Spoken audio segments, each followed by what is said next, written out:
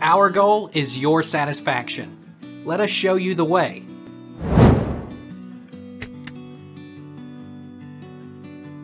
Does hula hooping make your bum bigger? As mentioned this exercise is a great way to help grow your booty. By strengthening and growing your glutes and thighs you are helping to create a more lifted and curved bum. This is an advanced exercise and something that you should probably do with a traditional hula hoop as it can lead to some bruising. How long should I hula hoop to lose weight?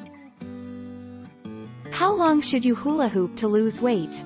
Start by hooping for 5-minute intervals then increase your workout in 5-minute increments until you are hooping for 20 to 30 minutes.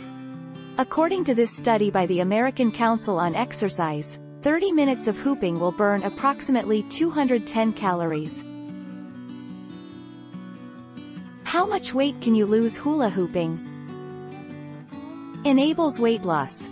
Hula hooping can help you lose weight, if you combine it with a healthy eating strategy that works for you and regular strength training, says Jens. You can lose around 1 pound per week if you are able to create a calorie deficit of 500 calories per day, through a combination of diet and exercise. Should you hula hoop in both directions? Also, and this is extremely important, always exercise in both directions equally.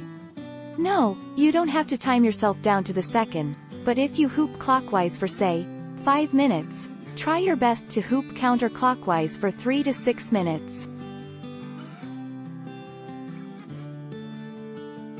Take our lead. Let's help you make your mark.